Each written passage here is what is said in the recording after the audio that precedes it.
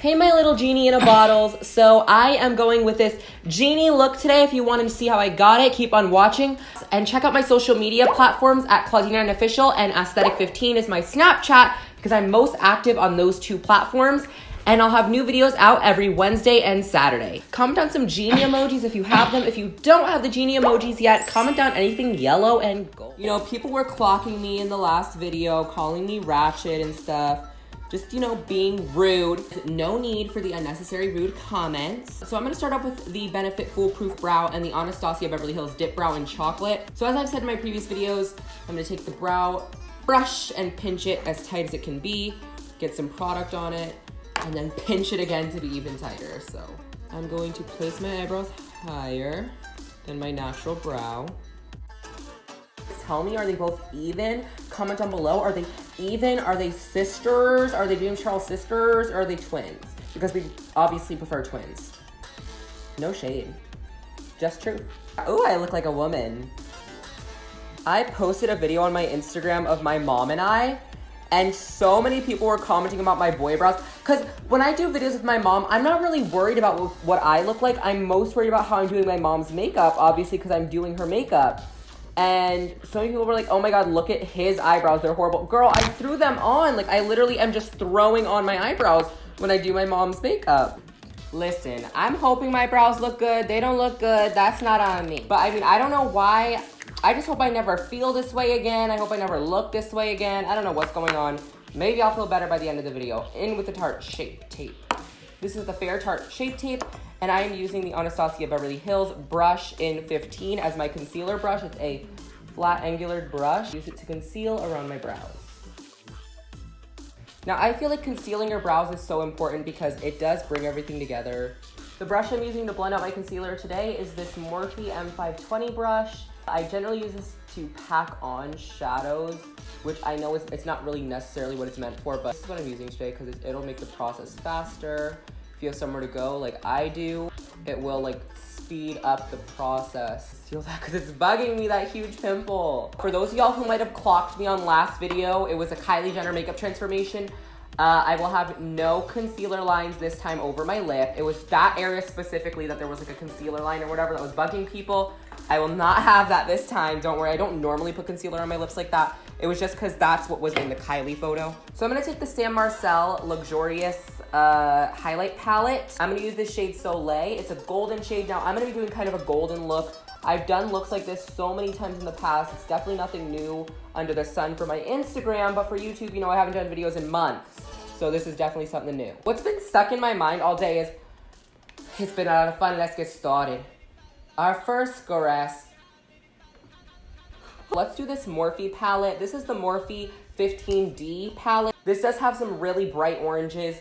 I try not to promote Morphe too much because uh, they don't be answering my emails and stuff. I'm gonna go with the upbeat shade and I'm using that as my transition for today. So this is a really, really uh, dark transition. I might even need a lighter one in a second. Lots of really bright colors or bright oranges on my eyes. And hopefully this palette will be able to fulfill that. Haven't actually used this palette that much, but it does have some seemingly really bright oranges. Comment down below what is some of your favorite bright orange palettes that work really well in terms of pigmentation, that are gonna get some good payoff in terms of color. You know, I'm not gonna be getting no stale oranges. Now I'm using the shade in the crease. I wonder if that means like it's supposed to be in the crease. I don't know, but let's apply it there. Oh, wow. Now that's a bright shade. In the crease, you got me shook because I was not expecting that. Yeah, so this shade is really bright in terms of its pigmentation. This orange is, ooh, yes. Now I'm going in with my Morphe Jaclyn Hill palette. As you can see, I've used this palette a lot. The writing is actually off of it. This palette definitely has some really good pigmentation for people who need information on some color payoff palettes. This palette is the one. Now I'm gonna take this burnt orange shade in the crease. I'm using the Sigma pencil brush in E30, and I'm using this to create my new crease. I'm just gonna try to pull everything together with a blending brush. This is the Morphe M505 brush, and this is gonna try to just help me blend all those harsh lines or edges. And again, I'm not too worried about that lid area because I do cover it up with concealer. So we're gonna try to ignore that for right now and focus strictly from here to the crease. Now, if you do have Asian hooded eyes like mine, you're gonna wanna raise them, kind of look down when you do your makeup and look directly into whatever you're looking into and see where your eyes are gonna place. And then you can, if you feel really ugly, then just go ahead and raise your eyebrows and see how it's gonna look. And you could just walk around with your eyebrows half raised all day. Just so that way I know what I'm working with when I do the crease, how high it's gonna be. Because when you look and you're doing this, you know, the crease might look really high. You're like, oh my God, this is gonna look so high. But since your eyes are already naturally, you know, you have that smaller lid, you, know, you wanna be able to look and see, okay, so I'm gonna work with this much space. Even though when I do this, it looks like I have a lot of space you still want to even maybe raise it a little bit higher to give yourself that crease. Now we're to go back in with that Tarte Shape Tape and I'm to use that concealer brush to create my new crease. You want to keep looking that way so you know where you're, you're placing your lid. Now I'm going to take this yellow shade as a transition shade from the Jaclyn Hill palette and pack that on. And I'm just going to work in those darker shadows and see how it kind of fuses with the crease. That's what it's, it's basically a half cut crease. It's not like a full on drag eye, but it is still a cut crease, creating your eyelid larger. Oh my God, where is that brush? What is going on? Where did that brush go? This is so like me to lose my stuff in the middle of a video. So I'm gonna use that shade from the Sam Marcel highlight palette and pack that into my white area of the new lid I've created. And now I'm just going to repeat this on this side.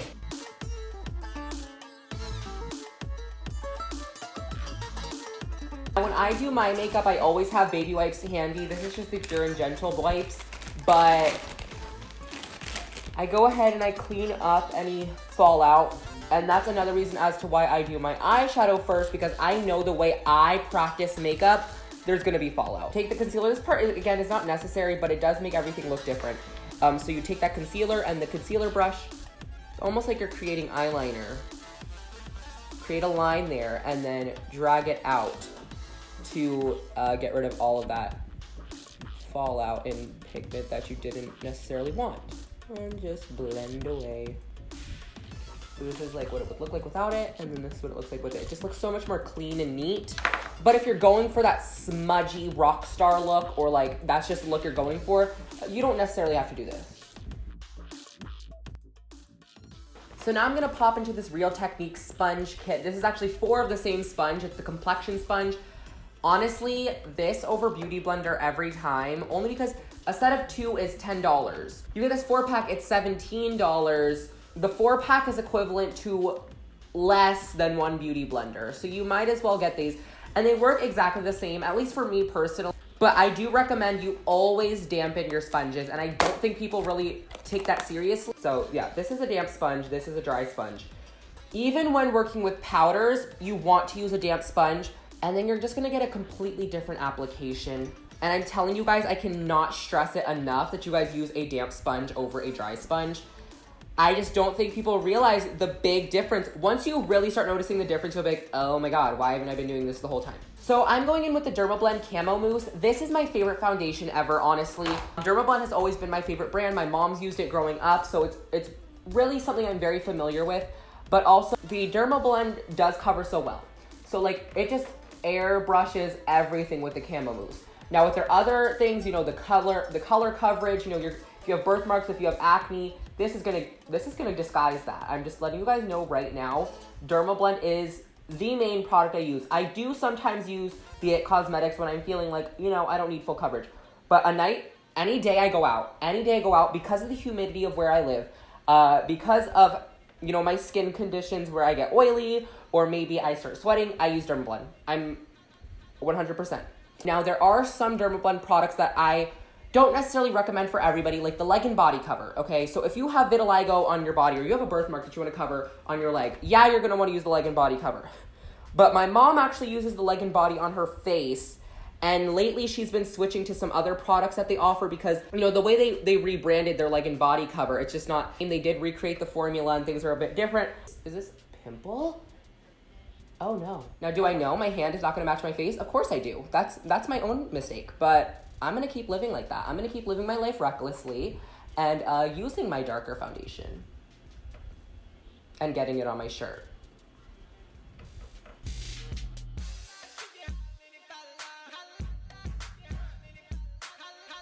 So once I've highlight, I go in with my Airspun powder and I just put my setting powder in those areas that I've highlighted. I don't use powder where I've contoured or where I plan on contouring since obviously I do my contouring after, afterwards. Um, and I just do that because I use a contour powder, so I guess like I don't really need it. Now, I use a lot of setting powder, and I know that. Uh, a lot of people don't like that because it does make you feel thick, it makes you feel cakey, but it is gonna make your makeup last. It is going to make your makeup uh, stay on your face. So if you have the issue of your foundation when you touch when you touch things your foundations everywhere, you need to start using setting powder because the foundation is not just going to stop doing that on its own.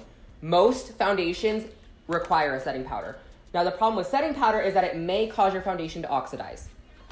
It is what it is. Find a lighter foundation in that case. That's the only time I'm going to say get a lighter foundation than your normal shade. So I'm going to blend everything out. Going in with my Hoola bronzer. Um, who saw that little like scandal of them inviting all those like big name makeup artists? Although they didn't include me. Just kidding. So all the like uh, makeup artists to the retreats, which is like basically a vacation, just to reveal that mascara. What is everybody's thoughts on that? Because personally, I mean, I get it. You know, they want to promote their product. Benefit is very extra. They're a they're a very different brand. They're very social. They're very um big on their PR. But mascara girl, really like I don't know. Personally, I think there's much more innovative products to be revealed.